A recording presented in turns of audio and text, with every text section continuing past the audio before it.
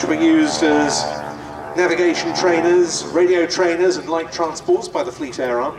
This one flew with 740 Naval Air Squadron at Machrihanish and 703 Squadron, the Air Sea Warfare Development Unit at Thorney Island between 1943 and 46.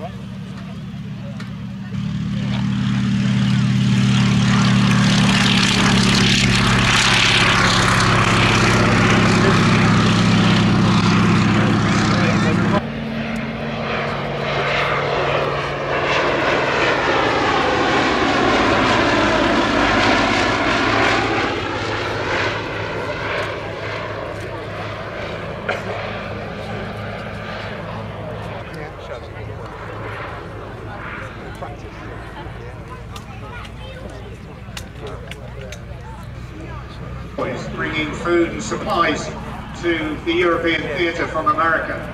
And by keeping the submarines under the water, they weren't able to fire accurately.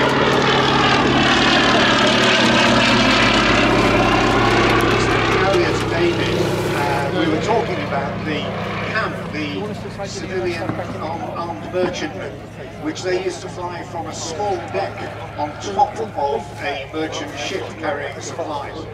And I said that uh, surely that was a very small flight deck.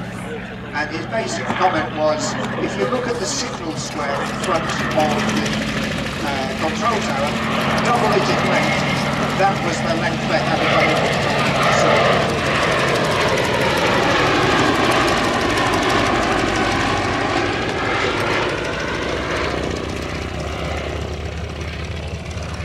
code equipment, also the uh, wireless telegraphy radio set, and the .303 inch Lewis machine gun.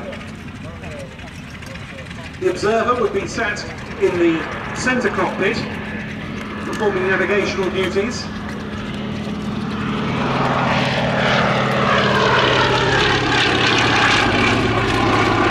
And indeed, the, navigator observer was perhaps the most important person be on the Fairey sword the flight Fairey swordfish. Because you imagine you get airborne from a ship, and then you've got to find your way back to your landing field, which is probably moved 25 or 30 miles in the interim. And let's not forget they're doing all this in a slow moving, open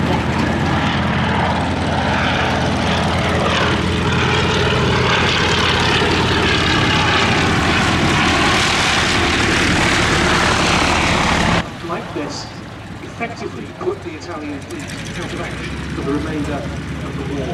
There was the chase after the German battleship Bismarck, during which a swordfish put a torpedo through the Butchfield vessel's steering gear, after which the whole fleet sank it with gunfire. And then there was what became known as the Channel Dash. Only six swordfish attempting to stop the aircraft. All six swordfish were shot down.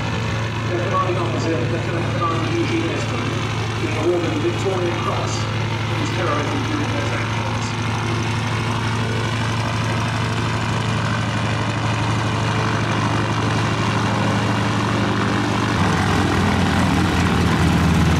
That was number 52, seats, awarded the Fleet Hour Credence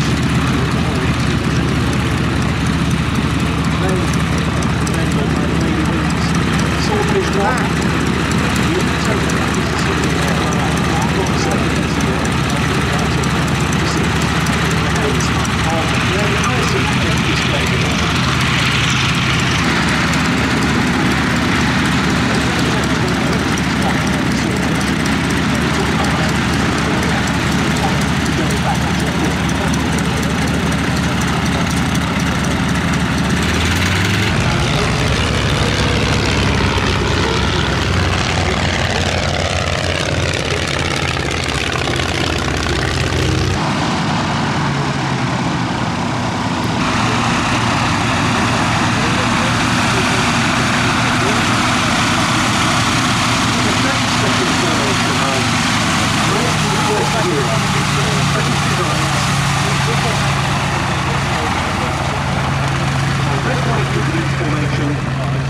Coronation weekend.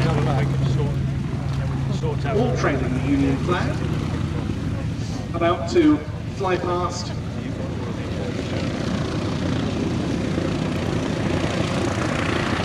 A special tribute to these historic events Self underway to the Corral habit.